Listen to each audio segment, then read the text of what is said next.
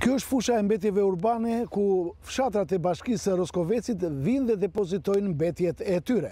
Edhe pse bashkia ka nënshkruar një kontratë me inceneratorin e Fierit, kjo fushë plehrash mbetet ende pikë hotspot për ndotjen e banorëve të zonës së Marinzës. Kryetarja e bashkisë së Roskovecit, Majlinda Bufi, nënshkroi kontratë me inceneratorin e Fierit për djegien e mbetjeve urbane që prodhohen në këtë bashki.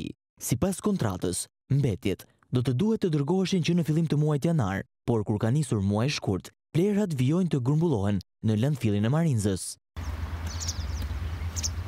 Burime nga bashkia bëjnë të ditur se vonesat për dërgimin e mbetjeve në incenerator kanë ardhur për shkak se nuk ka mjete për transportin e tyre. ndërkohë që në krahun tjetër, Bashkia e Roskovecit ka nisur të zbatojë rritjen e taksave të pastrimit për qytetarët. Po di ç'është gjëja, ajo gropa tjetër është bërë vetëm për qeska të vogla. Po. Nuk është bërë për të edhe me dorina, kafshë e gjëra që mund të po. gjeni aty, se aty po. nuk vihet dot me shikosh. Është katastrofë. Bashkia ka nxjerrë vendim që do rrisi taksën e pastrimit. E ka rritur, e ka rritur më rrëdhë. I ka rritur më, të vesh shikosh ti të paguash lekë atje ti t'i kërrosh kokës. Taksat i paguani rregullisht për pastrimin e gjelbërimin. Patjetër. Është është një thjesht një një punë shumë e dobët krahasim me me ça shohim në vendet e tjera.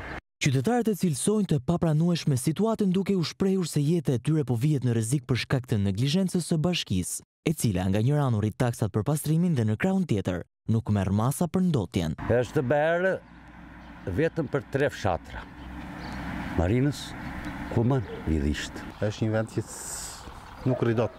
Po. Ne të gjithë si zonë jemi, jemi me probleme mushkërie nga kjo. Po, po ne kemi ngritur sa herë dhe nuk na kanë, nuk, nuk kemi gjetur zgjidhje asnjë.